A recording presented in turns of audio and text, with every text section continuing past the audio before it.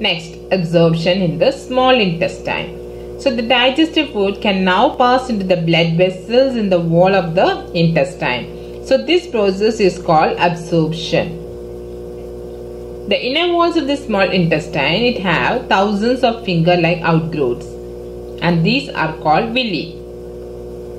So what is the role of villi? Villi increases the surface area for absorption of the digested food. Each villus has a network of thin and small blood vessels close to its surface. The surface of the villi absorbs the digested food materials. So where it is transported? It is transported. I told already that uh, it has in inner walls of small intestine. They have finger-like outgrowths, right? And uh, one more thing we learned: this digested um, food passed into the blood vessels in the wall of the intestine.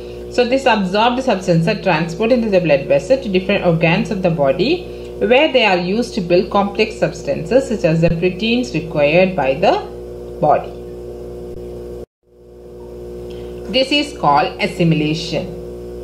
In the cells, glucose breaks down with the help of oxygen into carbon dioxide and water and energy is released. The food that remains undigested and unabsorbed enters into the large intestine. So the large intestine is wider and shorter than small intestine. It's about 1.5 meter in length. Its function is to absorb water and some salts from the undigested food material. The remaining waste passes into the rectum and remains there as semi-solid feces. The fecal matter is removed through the anus from time to time. This is called egestion.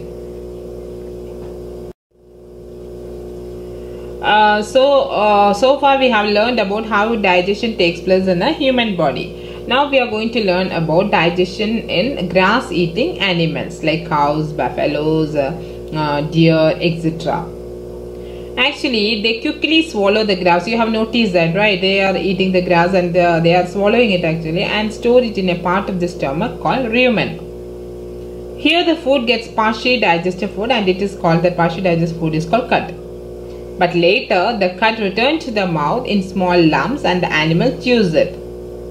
This process is called rumination and these animals are called ruminants the grass is rich in cellulose. Cellulose means it's a type of carbohydrate. In ruminants like cattle, deer, etc., bacteria present in rumen, they help in digestion of cellulose. Many animals, in, including humans, cannot digest cellulose. Animals like horses, rabbit, etc., they have a large sac-like structure called caecum uh, between the esophagus and the small intestine. So the cellulose of the food is digested here by the action of certain bacteria like uh, uh, Ruminococcus albus etc which is not present in humans.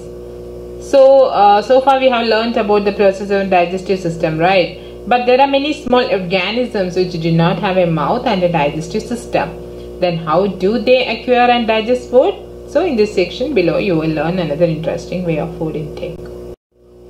Uh, here is a picture of diet system of ruminant as we already explained and uh, here the, you can see the structures over here the esophagus and it present uh, small intestine here in between the rumen over here. And then here is uh, this is stomach and then it's a caecum here here it's a caecum and here the large intestine yes. Now feeding and digestion amoeba Amoeba is a single-celled organism and we cannot see that because we need a microscope to observe an amoeba and it's found in the pond water and uh, here is the structure of the amoeba.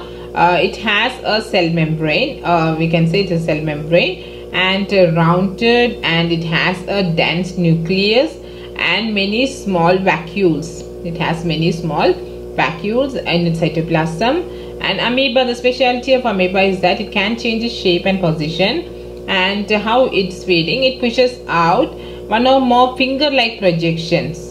Clear. It's called as pseudopodia.